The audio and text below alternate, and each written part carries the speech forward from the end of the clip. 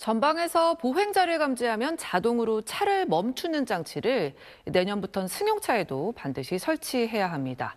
실제 사고 예방률 얼마나 높일 수 있을지 김덕현 기자가 알아봤습니다.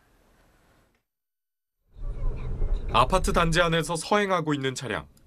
주차된 차량 사이로 갑자기 튀어나오는 행위. 미처 멈추지 못해 부딪힙니다. 주차장으로 들어서 왼쪽으로 꺾으려던 찰나 지나가던 사람을 그대로 들이받습니다.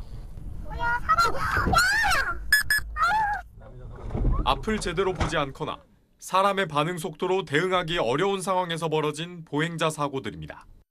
이런 사고를 막을 수 있도록 개발된 게 AEB, 자동으로 브레이크를 작동해 차량을 멈춰 세우는 장치입니다.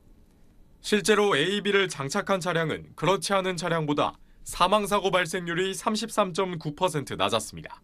갑작스럽게 부닥치는 걸 방지하기 위해서 굉장히 중요한 역할을 해요. 음. 고령자 운전 사고도 좀 줄일 수도 있고요. 음. 기본 안전장치로서 부각이 되고 있어서 국내에선 지난 2018년부터 대형 버스와 트럭 등 상용차들의 이 장치를 의무적으로 설치하고 있고 내년부턴 승용차 등 일반 차량으로도 범위가 확대됩니다. AEB가 장착된 차량의 실제 성능은 어떨지 실험해봤습니다. 어린이 보호구역 제한 속도인 시속 30km로 달리는 상황. 전방에서 보행자가 감지된 경우 자동으로 멈춰섰지만 충돌을 100% 방지하진 못했습니다. 장착된 장치 기능에 따라 좌우 측면을 제대로 인식하지 못해 벌어지는 일입니다.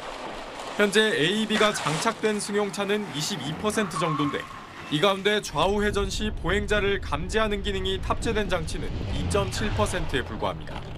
차량마다 이 성능의 차이가 있기 때문에 도로에서 많이 발생하는 사고를 예방할 수 있는 그런 충분한 성능을 낼 수 있는 AB가 장착되어야 될 향후 차량 측면과 후방 등 여러 방향을 인지할 수 있는 장치로의 확대 적용도 검토할 필요가 있습니다.